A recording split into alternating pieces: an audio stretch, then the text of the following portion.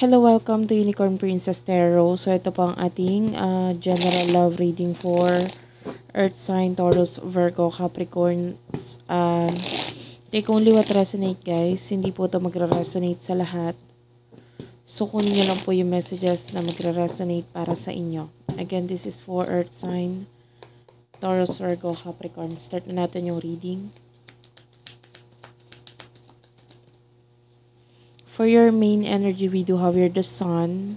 Ayan. Medyo ma, ano lang, ano, maliwanag sa video. Well, anyway, I can see a lot of positivity sa'yo ngayon. You are attracting a lot of uh, blessings at saka nakakakita tayo ng freedom sa'yo. Maybe freedom in a way na kung ano yung gusto mong gawin sa buhay mo, maybe uh, yung iba sa inyo, whether may kinalaman yun sa expenses or some kind of growth na gusto mong gawin, um, you're uh, somehow ginagawa mo yon because you feel like makakatulong ito sa'yo uh, para bigyan ka ng konting kahit hindi major change, no? At least kahit konting changes maibigay nito sa'yo. So, I can feel like you're being happy right now. Ginagawa mo lang yung mga bagay na ito na makakapagpasaya sa'yo. Wait lang, guys. Okay, sorry about that. Yan. So, you're allowing yourself na i-manifest or uh, maging masaya lang, you know, um, thinking positivity sa lahat ng bagay sa ngayon. Okay, and um, I feel like you're no longer afraid anymore. Hindi ka na natatakot, hindi ka na nahihiya. Yung iba sa inyo, pwedeng hindi ka na natatakot pagdating sa, uh, sa you know, yung iba sa inyo, pwedeng hindi ka natatakot maubusan ng pera kasi basta gagawin mo to, bibilin mo to because you feel like makakatulong ito para sa'yo, you know. Um, ganong klaseng uh, pag-iisip ba. Pero yung iba naman, hindi naman mag-uubos ng pera. Pwedeng hindi ka natatakot gumastos. Basta ma as long na mapapasaya ka nitong bagay na pagkagastosan mo. Okay? And, yeah.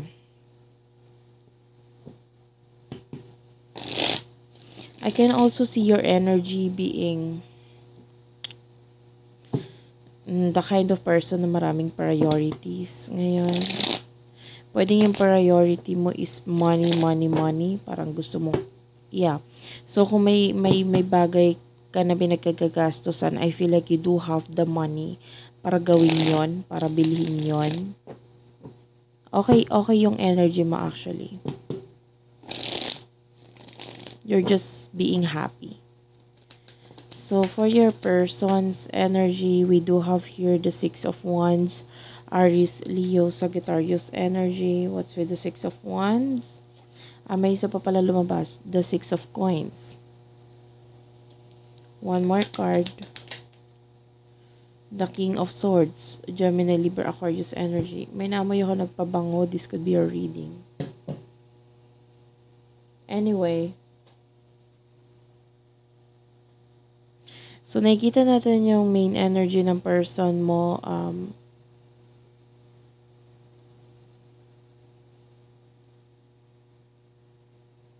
alam mo, magka, medyo magkaiba kayo ng person mo pagdating sa pananaw, pagdating sa pera. Kasi kung ikaw, uh, gagawin mo or bibilin mo yung mga bagay na gusto mo na makakapagpasaya sa'yo or maybe makakatulong sa'yo para mag-grow ka as a person or mag-grow yung finances mo. Yung iba sa inyo, pwede may kinalaman yun sa investment, ganun, or business, whatever, basta pagkakagastosan. Pwede rin naman pang sariling pangangailangan.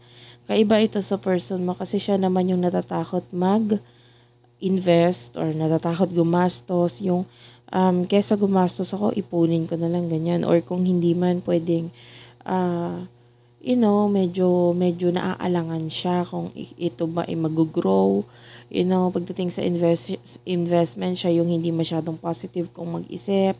Uh, this person, I feel like utak talaga ginagamit niya eh. And hindi siya pwedeng, hindi ba, katulad mo, kumbaga ikaw, sa pagdating sa pag-handle ng finances, puso mo yung ginagamit mo, yung sarili mo kung anong gusto mo talaga na makakapagpasaya sa'yo, na tingin mo, palagay mo makakapagpag-grow sa'yo. Pero yung person mo, pagdating sa usaping pera, siya yung, wait lang, pag-isipan ko muna, wait lang, parang hindi ako masyadong sigurado.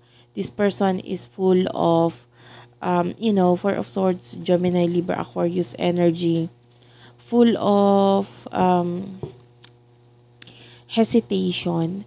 Pero at the same time, nakakita ako sa kanya ng energy na eh, parang hindi naman, basta hindi siya interesado, hindi niya itutuloy.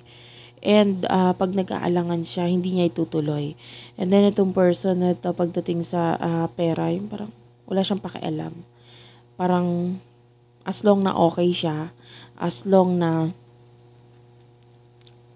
intact yung kanyang finances. This person is maybe afraid to take the risk. Okay? At mas naniniwala siya na um, savings muna before anything else, you know? So, pwedeng magaling siya, kumpara sa'yo, mas magaling siya mag-save ng money. Pero pagdating sa risk, you know, ikaw yon nasa sa'yo yon nasa side mo yon So, ano na sa isip ng person mo. By the way, ito, kahit sinabi kong side mo, alam mo kung ano yung sa'yo dyan. Okay? Kasi pwede magkapalit-palit ang roles. Pwedeng ikaw yung sinasabi kong person mo dito at pwede namang yung person mo yung sinasabi kong ikaw dito. Okay? So, let's get more cards for you. Nasa isip ng person mo, we do have here the Fool. The Ace of Cups. Pagdating sa love, this person is nag-iisip na siya mag-take ng risk. Uh, we do have here the Two of Swords, Gemini, Libra, Aquarius energy. So, nagdadalawang isip siya. The Ace of Wands is here. This person is manifesting new beginning sa kanyang buhay, sa kanyang love. We do have here the Ten of Coins. Um, nakikita niya yung I feel like nakikita niya yung beauty on the other side which is sa side mo. Kaya lang um, medyo uh,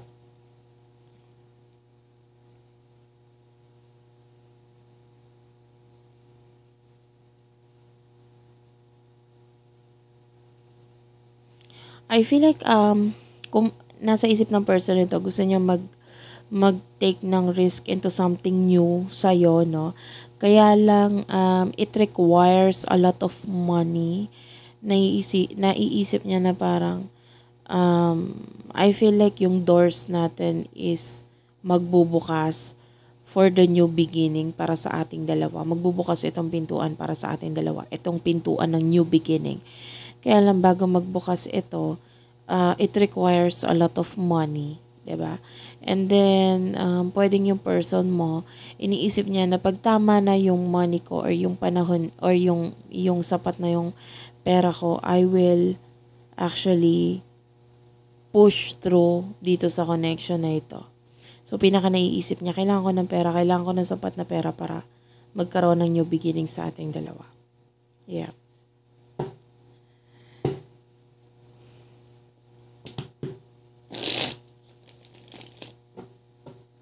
Wait lang guys. I'll just have to write it down. Kasi yun yung pinaka-message ng ating reading. So, ilalagay ko sa title yon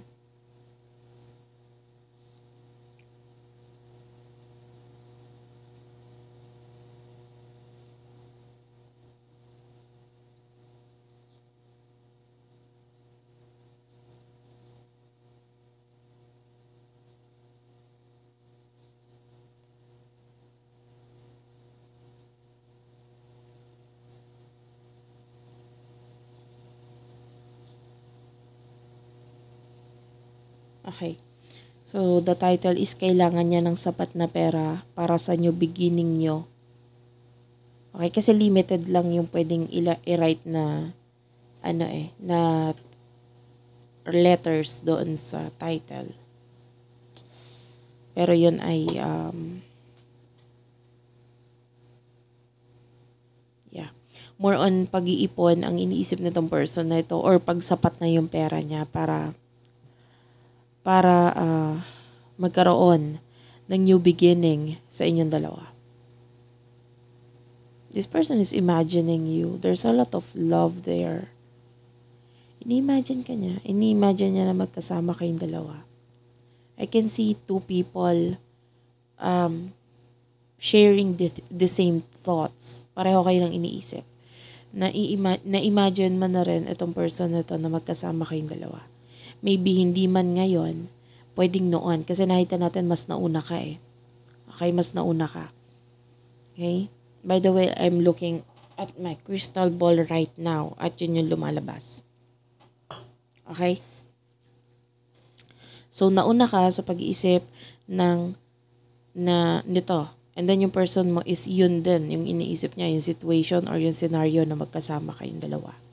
So, kung hindi ikaw ito, wag mong ipilit. Alam mo yung inisip mo, alam mo yung mga nangyari sa'yo or whatsoever. So, kung hindi ikaw yon wag natin ipilit. Okay? Kung hindi mo siya inisip, minsan na parang magkasama kayo and everything, maaaring hindi para sa iyo yung reading. But anyway, pwede magkapalit-palit ang roles. Ramdam mo pag sa iyo or hindi para sa iyo yung reading. Okay, emotions ng person mo for you. For some of you, you could be dealing with a soulmate. I can see Pisces energy. Emotions ng person mo, we do have your the hanged man. Guys, talagang itong person na ito, yeah, we do have your the moon. The moon is here. Pisces energy. Pwedeng lumabas na sa panaginip mo yung totoong emotions niya para sa'yo. So, I wouldn't tell you kung ano ang emosyon sa'yo ng person mo. Check your dreams. Balikan mo yung mga napanaginipan mo. Okay? Kasi lumabas na sa panaginip mo kung ano yung emotion ng person mo for you. Okay? And pwedeng sinabi niya sa iyo ditong mahal kita, ganyan. Or pwedeng sinabi niya, or pwedeng nakakita ka ng situation doon na parang natatakot siya, tumatakbo siya, so natatakot siya, ganyan. Or uh, kung nakita mo siyang parang galit sa iyo, uh, yun din yung emotions niya. And, uh, whatever, check your dreams kasi the emotions is in your dreams, okay? We do have here the Hanged Man and the Ace of Pentacles, Taurus, Virgo, Capricorn. Hindi siya kita sa camera, masyadong nahihirapan yung camera natin pagdating sa brightness, so hindi ko na ipapakita yung cards. Anyway, um, yeah, this person is naghihintay lang siya na magkaroon ng new beginning sa inyong dalawa. Hindi ko sasabihin yung regarding sa emotions. Check your dreams. Okay? I can see Pisces energy. By the way, I can see fishes right here. Yeah, tinatry niya maging kalmado yung person mo. Um,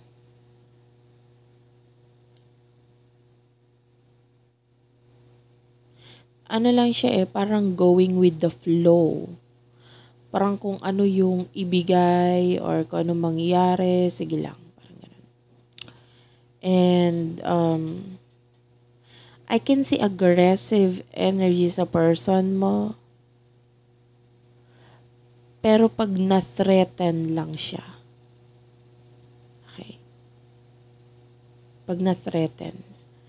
Pag may gumalaw sa kanya, ganyan, or nagpapansin sa kanya, there's an aggressive energy. Okay, so nakakita tayo ng handa siya makipaglaban or makipag-away dito sa mga taong nagpapapansin sa kanya. Mm-hmm. Pwedeng may mga kinalaman yun sa mga kaaway nitong person mo. Kasi your person is ready to fight. Okay? Pwedeng friends or family. I don't know. Pwedeng walang kinalaman sa iyo yon. It's just the energy na nakuha natin. So what will happen in the near future for the both of you? We do have here the magician.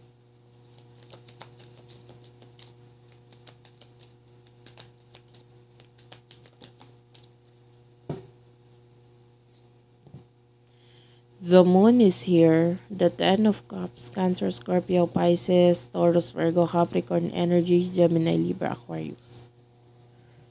Okay. Um, there's a playful energy sa person mo.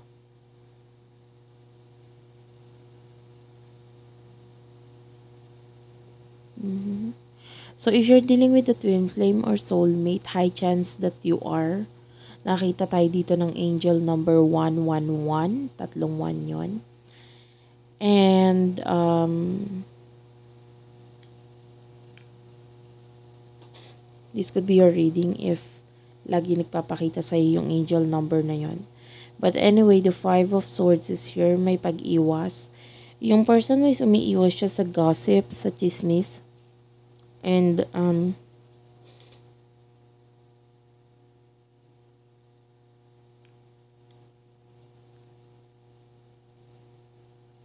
wait lang guys. Okay, sorry about that. So, umiiwas yung person mo sa chismis. Pero, I feel like this person is listening to you. Nakikinig siya sa'yo. In the near future, possible na may mai-advise ka sa kanya na pakinggan niya. Maybe advice regarding finances. Kailangan ka nitong person na to as a guide eh, in the near future.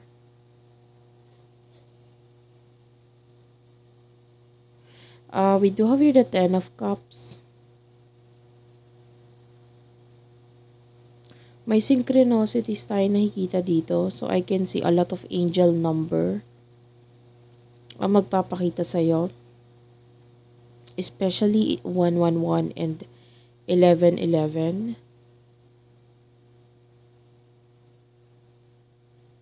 Okay, nakakita tayo ng growth in the near future.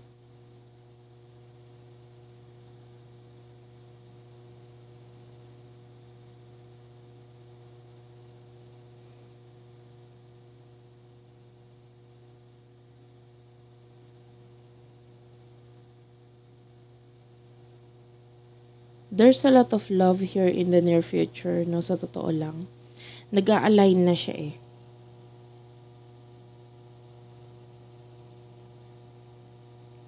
Yeah, I can see doors opening between the two of you.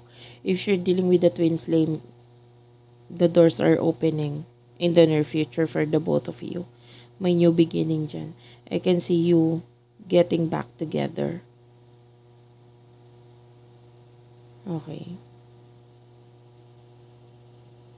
Yeah, you're both getting back together. I, I can see crystal ball right here. Pwedeng um, recently lang nanood ka ng crystal ball reading. Or, um, or no, yung iba sa inyo, it's not a crystal ball. It's a, ano ba yun? Yung parang bola siya na pag shinake mo, parang may design sa loob na uh, may mga snow. Yeah, this could be a reading.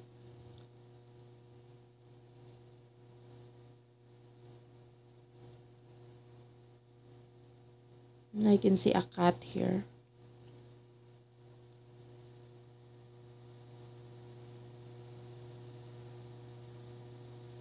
Wala. Alam mo yung person mo, possible na noon natakot siya pagdating dito sa connection nito pwedeng nag-run away siya sa connection, umiwas, lumayo. Pero in the near future, hindi na siya natatakot. Yeah. Especially with the moon.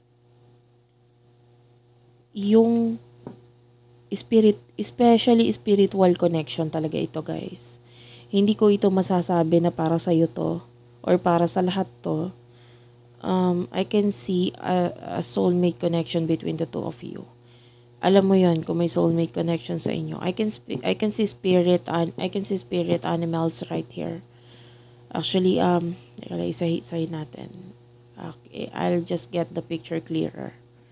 Okay, mga spirit animal is cat. I don't know if you believe in spirit animals. For some of you, pwedeng you do have your spirit animals. Okay? Uh, isa-isahin natin. Wait lang. Yeah. I can see an owl, cat. I'm not familiar with that one. Pero may tuka siya eh. Uh, it's like um, a kind of bird. Hindi ko alam kung anong tawag dun sa bird. But I can see bird right here malaking klase ng ibon. No? And bat. Yeah, I can see bat.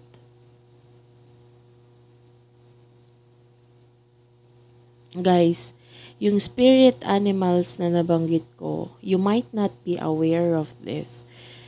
Pero we do all have spirit animals. Okay?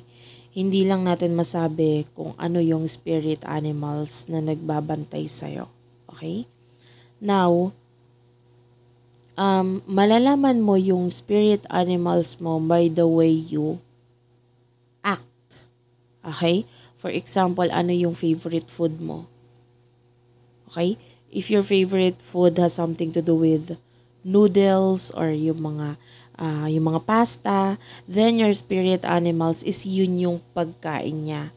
Okay? Uh, especially chicken, uh, example, chicken, ba? They love worms. Okay? So your spirit animals could be chicken. Ganun siya. Okay? Or um, a sea animal na mahilig sa mga worms like arowana, you know, those kind of spirit animals. And they are always there to guide you. Yung iba sa inyo, bago pa lang yung knowledge na ito. But I can see spirit animals here. Guiding you. So, you do have a bat here. Yung iba sa inyo, pwedeng you're a night person Okay, pwedeng gising ka sa gabi, sa, sa umaga. And that's your routine. Kahit anong pilit mo, bumabalik at bumabalik ka sa ganong klaseng routine. I can see snake right here. I'm not so sure. Kasi mata lang yung nakikita ko eh. It's like a snake or yung mata ng snake. Ganon. And that could mean your energy is like a snake. Okay? Pwedeng, um, mahilig kang humiga or dumapa. I'm sorry, dumapa pala kasi the snake is like nakadapa. That could be your attitude. Okay? Pwedeng most of the time, pag ikaw ay nagsa-cellphone, pag ikaw ay nagbabasa ng libro, gusto mo nakadapa. That's your energy. And I can see, um, what is that?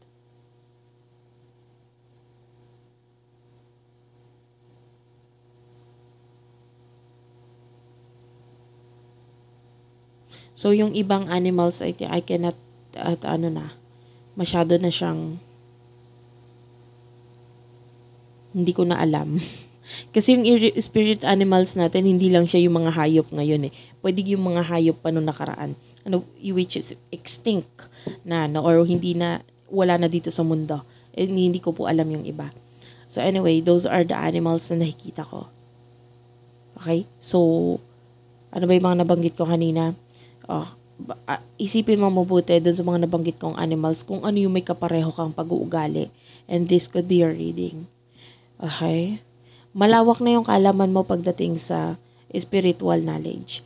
Okay? If you are dealing with the twin flame or soulmate, alam mo, lahat ng twin flame, twin flame, not soulmate, but rather yung twin flame, may mission yan. So, maaaring malaki na yung kaalaman mo pagdating dito sa uh, sa ganitong klasing bagay kasi um, you are part of the twin flame. Okay? And meron kang mission dito sa mundo. And kaya alam mo yung mga ganitong klaseng bagay. Pwedeng yung iba sa inyo alam mo yung mga binabanggit ko. So, that's it for now. Thank you for watching. Sana nakaresonate kayo. Please do like and subscribe to our channel, Unicorn Princess Tarot, Madam PTV, Virgo Philippines, Stop It Hapon TV, Water Sign Philippines, Madam P Vlogs. Thank you again for watching. I love you all and bye-bye.